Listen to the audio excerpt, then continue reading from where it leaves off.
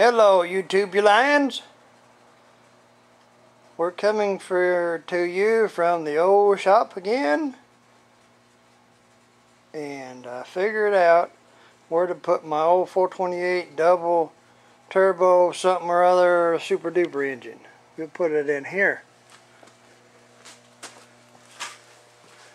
That's one of my old Mustang Torino scoop thingies that I've got.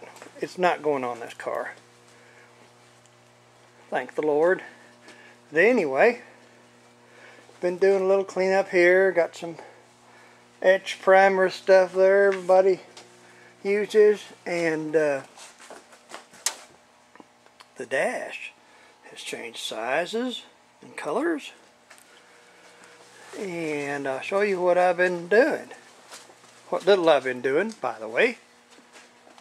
Here is the wooden dash thingy on Mr. Harold. Is this big? No, this is, yeah, it's big. Anyway, I hope I can show it all. There it is. I got it dug out in all of its wonderfulness and worked on the gauge a little bit, knocked a bunch of rust off of it needs a little bit more cleaning up, which it will get. But the reason I got this dug out is uh, Buck's Wood Shop. I begged him and pleaded him, and he said he would make me another one of these things. So he's waiting on it, and uh, it's all going to be a lovely thing here is, this is where the ashtray slash radio, whatever goes. But I'm wanting to cram three gauges in it. Like and so. And uh, Olivia, alleviate these here goobers. Just want it flat there, just with the speedometer and uh, that's what I'm thinking. And of course the controls there which they're uh, countersunk. And here's the backing plate. Backwards. Here's the backing plate that goes backing on it. But I was thinking of just not having it countersinked if the controls are reach and just having it just a regular old hole there. Wouldn't that be a lot simpler? I think so. So, I don't know. I'll get this packaged up and sent your way. Whether you like it or not, you're getting it. Uh, let's see. Anything else exciting today?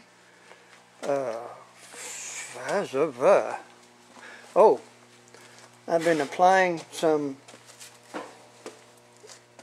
paint remover to these little bad boys. They've been every color with the color they're going to be. And uh, at the end of it, uh, I've been doing it like they raise hogs in China. They raise them on a little tier. They put the little pig in the bottom and a medium pig in the middle and another pig on top of that in different cages but stacked up. And the finished pig on top and he gets all the good food because he's going to be killed first. And what he don't eat goes to the next one. And what he don't eat goes to the next one goes to the next one. Anyway I've been putting stripper on the top one.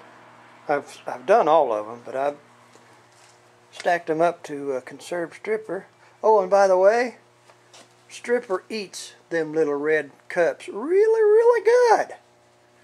Anyway, uh, that's what I've been doing. And uh, tomorrow's going to be a warm day.